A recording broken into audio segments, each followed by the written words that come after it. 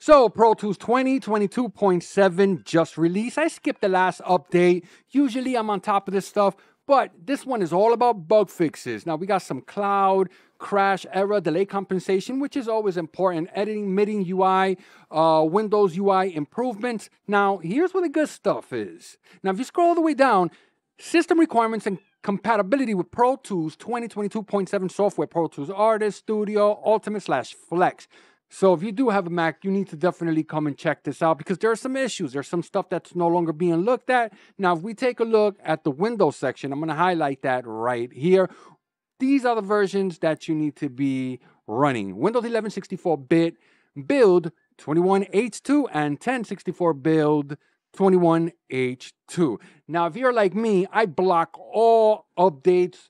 I completely debloat my system. So can get old really quick. And there is a really simple way to find out what version of Windows you're running by Windows R. And you type in win, ver, enter, and check this out.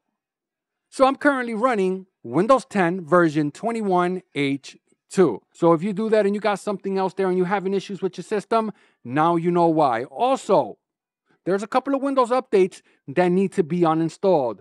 There's going to be a link in the description. Go check that out. There's some security stuff that needs to be patched, but for this audio stuff, that can break our systems. So if you're planning to upgrade image, mirror, do whatever you have to do to back up your hard drive, well, there you go. Go check the description and update your Pro Tools. This is Ray, and I'm out of here. Later, guys.